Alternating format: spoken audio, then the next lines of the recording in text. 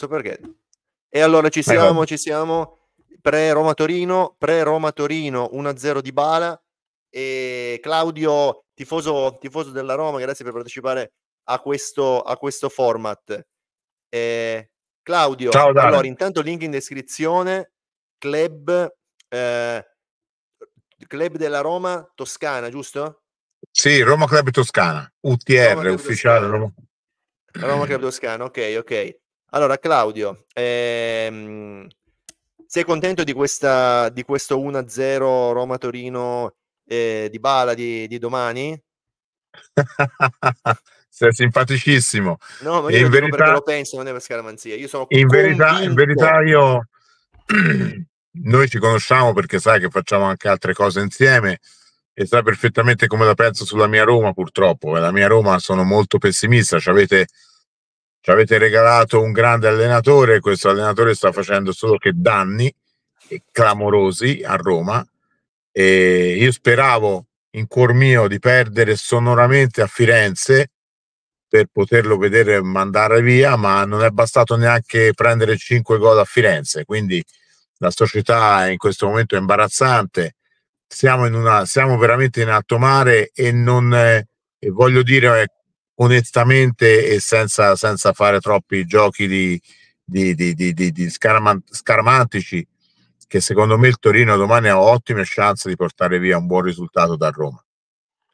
Io guarda Claudio, ti assicuro che non, ho, non dico questa cosa che sono convinto che Toro perda per scaramanzia, ma lo dico perché io ne sono convinto. È chiaro che la Roma in questo, ma io proprio per il fatto che la Roma, che comunque è una, è una, è una big, nel senso una squadra nettamente più solida del Torino e tutto quanto di base, con tutte le criticità che può avere, eh, ci sono degli snodi del campionato nei quali io cioè, ogni volta so, ma so per certo, che accade che il Toro in tutti i casi non può battere la squadra X. Perché questo? Perché la Roma, come possiamo vedere dalla classifica, che comunque chiaramente è più una big del Toro, e, e senza stare troppo diciamo a entrare nel merito, ha meno punti del Toro adesso. Il Toro ne ha 14, la Roma ne ha 10. Roma che ha appena perso 5 a 1 e tutto quanto. È impossibile anche solo che il Toro vada lì e pareggi, ma non lo sto dicendo per questioni tecnico-tattiche, ma perché, perché, perché purtroppo il calcio funziona così. E, ehm, vabbè, noi ci conosciamo, Claudio, intanto diciamolo, ci conosciamo per,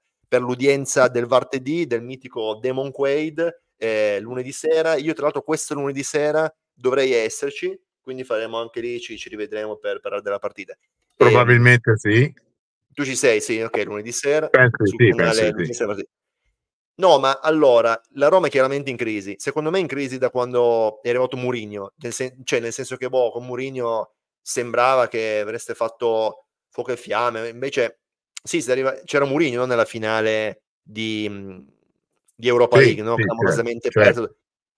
Però a parte quello è stato una sorta di, di decadimento, poi De Rossi assurdo come è andato via, non lo so, io sono, sono un super fan di De Rossi. Per domani sera eh, tu quindi sostieni al di là della scaramanzia che il Toro possa vincere o pareggiare, lo dici sul serio. Perché dici questo? Qual è il giocatore allora, che più ti fa paura del Toro?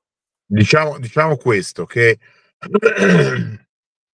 i problemi della Roma sono nati al contrario di quanto mi hai detto te ora. In verità ti dico, i problemi della Roma sono nati nel momento in cui quel 16 di gennaio hanno cacciato Murigno perché oggi, ancora più oggi, con, eh, con, con, i dati sotto mano, era evidente quanti miracoli fosse riuscito a fare Murigno con una rosa, con una squadra in grossa difficoltà e sicuramente inferiore qualitativamente a quella di oggi, perché quella squadra di oggi la reputo superiore alla squadra che ha fatto la finale eh, che ci hanno rubato in Coppa Europa. Quindi Mourinho aveva una squadra ancora peggio e era riuscito comunque a fare cose buone. Il 16 di gennaio era a tre punti dalla zona Champions, quindi è stato mandato via senza, senza neanche una, una ragione vera, logica. Ci siamo ritrovati con De Rossi, che io adoro come un fratello, che però bisogna essere corretti, lui non è un allenatore. De Rossi aveva fatto tre mesi di SPAL, aveva pochissima esperienza e buttarlo su una piazza in questa maniera qui significa rovinargli la carriera. Quindi ero contrario all'arrivo di De Rossi proprio per tutelare il mio amico De Rossi, perché gli voglio veramente tanto bene. E detto, fatto questo preambolo, poi siamo arrivati a oggi, cioè te mm. pensa solo nel, in cuor nostro romanista che dieci mesi fa avevamo Murigno in panchina, oggi abbiamo Juric, quindi renditi conto di quello che è il nostro stato d'animo. Ma come è possibile e... che sia arrivato Juric tra l'altro? Cioè io veramente me lo chiedo. Cioè, perché avete preso Juric? Poi adesso andiamo direttamente a parlare della partita di domani. Ma sembra e... che ci siano stati degli accordi tra il, il, il procuratore di Juric e la Soloku, quella che ora è andata via, la greca. Sì. E quindi eh, hanno scelto Juric per questi accordi che avevano tra il procuratore e la Soloku. Begli accordi. E quindi ci siamo ritrovati con lui, ma chiaramente a, a, a pochi giorni all'inizio del campionato, perché mm. si parla del 15 di settembre, non c'erano molti allenatori, c'era solo Allegri probabilmente disponibile. Eh beh, e da quello che so, Sarri, Sarri aveva, aveva, detto di no perché non gli interessava prendere una situazione del genere. Mm. E quindi ci siamo ritrovati Juric. Cioè, Beh, ma era meglio Allegri, una... secondo me. Allora, vediamo ma sicuramente, ma sicuramente sì. Gran gestore. Allora, allora, qua la Gazzetta, sito, giornale che ha messo sulle balle, eh, dice Roma fa un 3-4-2-1. Non so, io mi fido, mi fido più di te eh, secondo te Svilar, Dica, Angelino, Manzi, Mancini, Pisilli, Conè, quindi Pisilli al posto di Cristano, Zaleschi, Seric sulle fasce, Pellegrini e Dybala dietro Dobbik.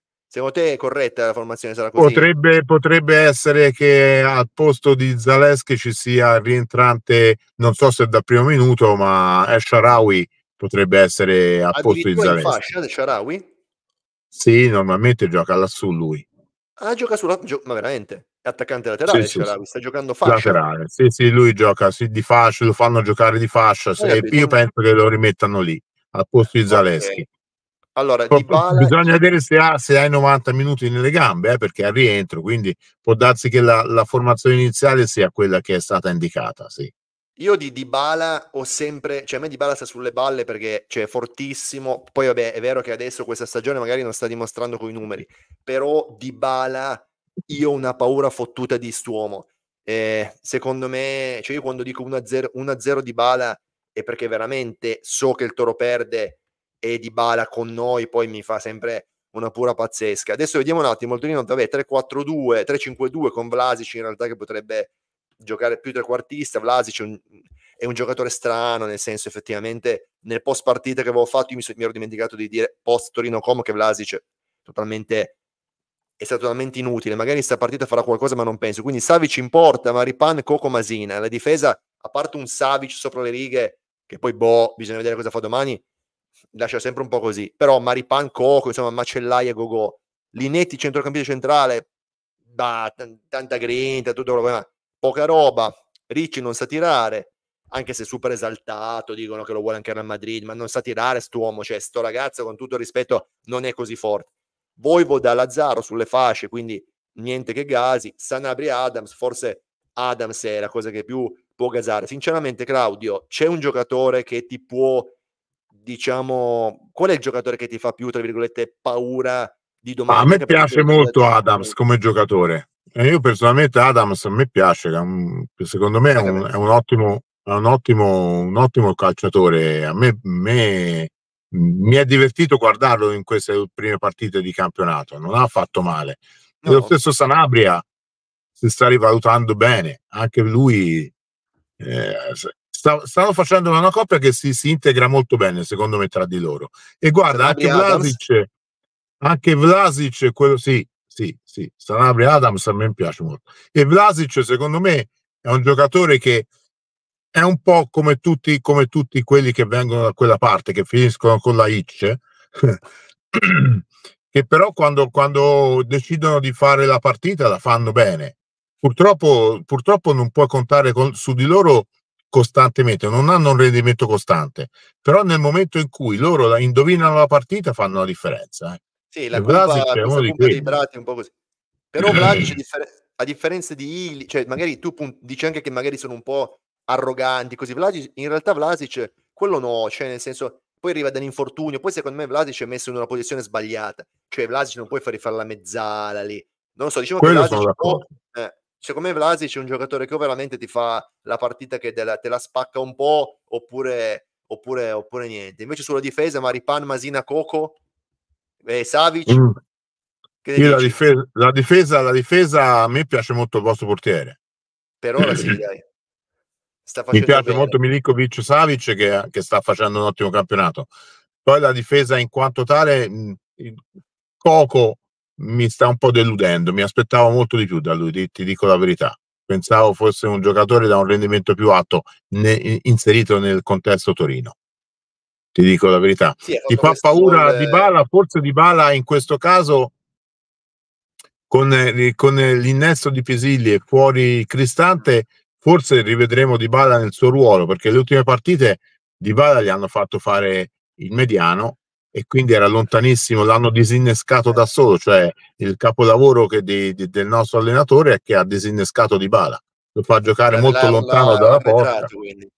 Eh, lo fa giocare lontano dalla porta, lui non ha il fisico per fare avanti e indietro, lui deve stare vicino all'attaccante, aprire gli spazi e sfruttare la sua velocità, ma se te lo fai giocare a centrocampo e a fare recupero di palloni, eh, lo, lo, lo disinneschi. Ora, se, forse con la formazione che leggo qui, se questa è vera, io spero che non giochi al posto di, eh, di, di, di Conè o di Pisilli, capito? Perché ci sta anche sì, quello. Eh. Cioè, io capisci, sì, io no? lo spero, Quindi... ma... Secondo me, eh, lo speri sì, fai bene, fai benissimo. Voi che avete, voi chi avete di indisponibili, diciamo? Chi avete di indisponibili? Indisponibili abbiamo l'espulso della, di chi era? Che è stato espulso domenica? Ermoso, Ermoso. Ermoso, Ermoso espulso. Ermoso che c'è la fantacalcio, non mi fa mai nulla. So che Ermoso è indisponibile, vero? Ermoso.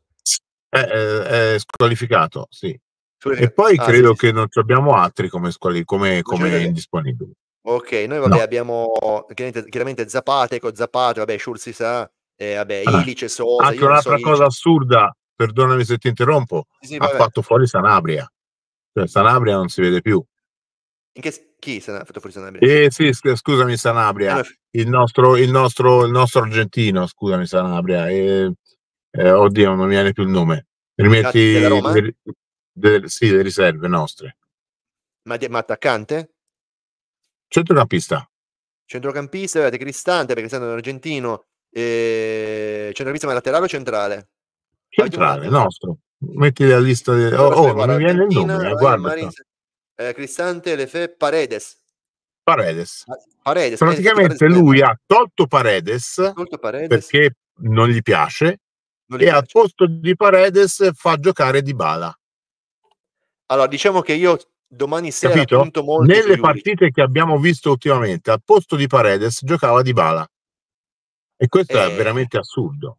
Capisci? Io in realtà cioè. sì, domani, domani punto, molto, punto molto su Juric, ma ripeto, onestamente andiamo sui pronostici. Io lo dico proprio, sono sicurissimo. Roma-Torino 1 e di ba- un, dico 1-0 di Bala.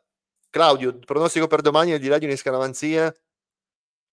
Io sono onesto, guarda, al contrario che quello che sai che faccio sempre quando facciamo il, proce- il, il martedì, la, la trasmissione che, che, io per scaramanzia sommetto sempre a Roma Perdente, con te voglio sbilanciarmi e ti dico che secondo me domani finisce 1-1. 1-1. Gol sì. di per il Toro e per la Roma? Allora, Dovic per la Roma e per il Toro Sanabria. Ok, allora noi, Claudio, ti ringrazio per aver partecipato a questa mini format della prepartita e noi ci vediamo eh, lunedì sera sul canale. Ci vediamo lunedì sera, vediamo chi, ha, chi l'ha azzeccata. Vediamo chi l'ha azzeccata. Eh, appunto su Twitch, l'udienza della parte di Demon Quaid su Twitch e su, e, e su YouTube. Ciao Claudio, sì. ciao ciao. Ti abbraccio forte. Partita. A presto, ciao, Forza ciao, Roma. Un saluto. Forza ciao, Roma, Forza Lupi.